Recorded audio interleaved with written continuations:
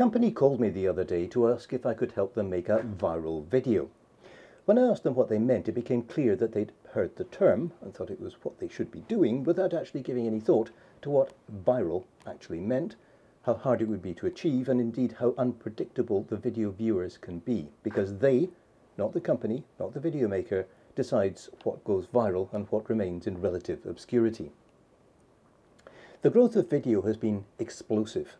As far as YouTube alone is concerned, they now reckon that 48 hours of video is uploaded every minute of every day. The average length of a video is about three minutes. If you do the math, that works out at roughly half a billion videos every year. In those terms, no one, not even the best pop video producer, can guarantee that their production will go viral. Now, there isn't an exact definition of what constitutes a viral in this context, but as a rough rule of thumb, it probably needs to be viewed by around 50,000 people within a week of uploading.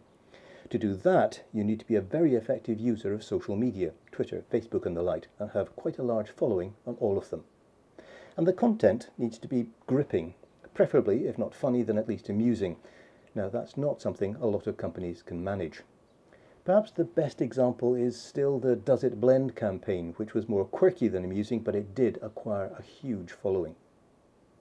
So if you're planning to use video, and the audience out there thinks you should, then all you have to do is make sure that you keep it short and simple. Have compelling content, have a good story to tell, and tell it well. After that, it's up to the online viewing public to decide what happens next.